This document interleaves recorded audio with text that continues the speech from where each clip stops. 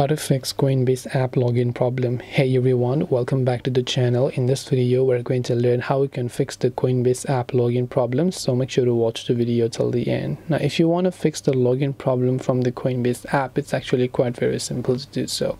All you have to do is go ahead and first of all launch the coinbase application and if it's not letting you log in for some reason it could be occurring due to a couple of reasons here. Now first what you can try to do is you can try to clear the data of the coinbase app. So if you're trying to download from your play store or app store here so you can select coinbase and maybe you have some kind of issue with the coinbase application. Sorry this is the coin market.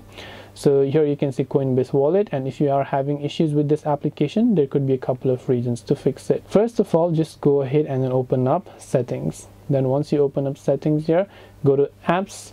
Then over here you can just select your wallet application. Then just select storage and cache and make sure to clear the data. Once you've done that check if the coinbase app has an update. If it does then make sure to update it to the latest version. Last but not the least make sure your account details are correct.